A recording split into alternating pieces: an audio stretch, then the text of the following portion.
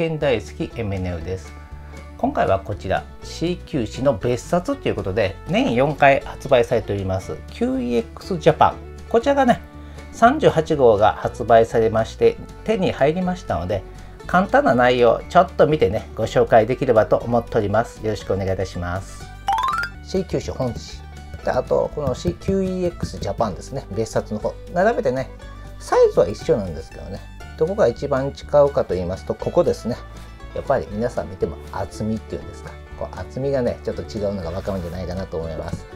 これ見てねピンってくる方はねやっぱりあの私もそうなんですけどハブジャーナルっていうのが昔ありましてね。ちょっとどっかこのどっかに載せようかなと思うんですけどね。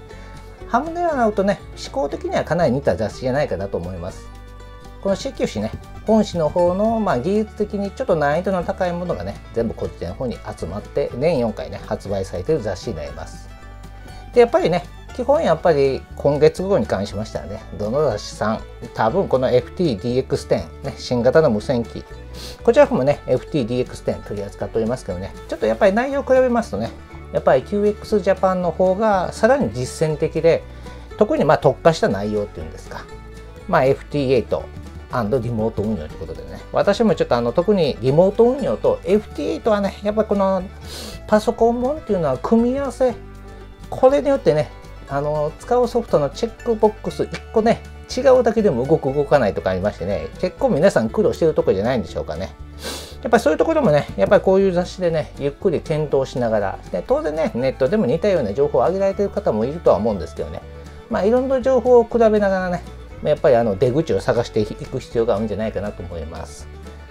でまずこうやってね見ますとねもう本当に広告が全然ないっていうんですか。もうこっから向こうが記事になっちゃってね。まあ、こちらもそうですね。もうここことここにちょっと広告があるぐらいでね。本当にねハムジャーナルとほぼ同様な感じじゃないかなと思います。あとね実際こうやって開けてみますとね、まあ、個人的にはやっぱり好きなのがここですよね。やっぱ FT FT8 と DX であとね、もう一つ気になってますのがね、こっちの方ですね。FT8 の運用環境を整えるヒントっていうんですか。これもね、結構あの細かなあの設定、まあやっぱりあの各ソフトっていうのはね、各ソフトっていうのも年々ね、もうあのバージョンアップ繰り返していってますので、やっぱりね、新しい機能とか増えますと、このチェックボックス選んだ方がいいんかなっていうところもね、割合丁寧にね、記載されてますのでね、やっぱりあの、一通り目通したり何かあった時にねちらっと見るにはね結構私もこれ読んで参考にさせていただいております。あとこれノイズキャンセルもね結構詳しいこと書いてありましてねものすごく関心があるっていうんですか。であとね、まあ、こちらの紐式ローテーター。これは誠申し訳ないです。ちょっとまあいろんないきさつもあるんですけどまあ私の方のねチャンネルの方でもね作り方。であとは CQC 本体の方の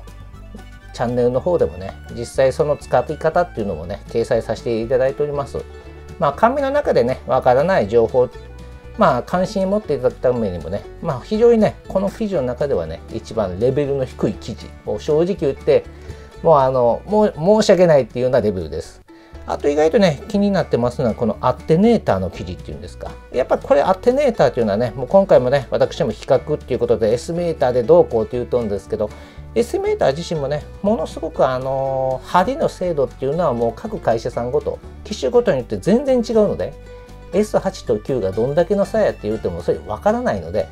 やっぱり基本はね、こういうアッテネーターを入れまして、要は同じ S8 にするためにアッテネーターを何本入れたみたいな形でね、ちょっとこの辺をね、ちょっと私もあの、アッテネーターなんだ形に工面しないとね、ちょっと 今後やりづらいなと思いながらね、ちょっと参考にしながら読んでおりました。あとこの辺のねデルマニウムとかあと真空管関係ですよねもう真空管の生地ってねもう各社さんあんまり扱わないんですけどね私も個人的にはねもう作ることはないとは思うんですけどまあ、うちの父親もね、テレビ関係のあの、テレビって言いましてもね、昔のテレビって大海さんだったら知ってると思うんですけど、キットから組み立てたりするような時代の古いね、あの雑誌をね、結構持っておりましたんで、今でもね、ちょっとあの、時々読み返してるんですけどね、60年代ぐらいのね雑誌なんか見てると結構勉強になりますよね。本当にいい時代っていうんですか。1960年代時代のねまあそういうのを報告させるんじゃないんですけどやっぱり真空管っていうのはね結構枯れた技術でできてますのでまああのインターネットでねいろんな情報を出してそれと比較しながらね読みますとね意外とあの落ち着いて読めるような内容じゃないかなと思っております。であとはね、やっぱりいろいろとありますけど、ケウンドのね、私基本的にはね、八重洲の無線機が多いんですけど、ケウンドさん好きなんでね、いつかはね、この890ぐらいをね、ここですね、なんとか買ってやりたいなと 思いながらおるんですけどね、はいはい、ケウンドさん、いろんな無線機出されてるんですけど、個人的には好きなんでね、ケウンドさんの無線機もね、ちょっと気になっているような形です。まあ、そんな形でね、こう全体に見ますとね、広告がほとんどないんでね、で割合年4回っていうことでしかで結構記事の内容もね各ライターさんまとめられてますのでね結構やっぱ FT8 っていうのはもうネタ的には終わったんじゃないかっていう考え方の方もおるとは思うんですけどねやっぱりソフトウェアの方がねもう本番に日々進歩してもうバグ問題から始まりましてね新しい設定値が増えるとこれは自分にとってあの有効性があるのかないのか含めてでなおかつね FT8 ですと1つのソフトで動いてないっていうんですか。いろんなログソフトとかいろんなものと連動させながら皆さん使ってるんでね。やっぱその組み合わせっていうのも気になるんでね。まあこういう活字媒体でまあ落ち着いてね読むっていう意味合いではねまだまだ FT8 今後もね進歩していく分野と思いますんでね。是非ともね見ていただければと思っております。是非ともねこういう目次とかを含めて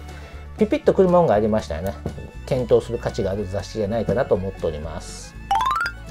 はい皆さんどうだったでしょうかね。この QX ジャパンちょっとやっぱり内容がねかなり特化している内容だと思います。ちょっとレベル的にはねハイレベルって言ってもそこまでもハイでもないとは思うんですけどね個人的には。ちょっとね見ていただいてネットとかとね上手に検索していただけましたら割合ね分かりやすい内容のものもあると思います。ぜひともね、書店にありましたら手に取って、まあ、中身をね、吟味していただければと思っております。お空でお会いする日、楽しみにしております。よろしければチャンネル登録よろしくお願いいたします。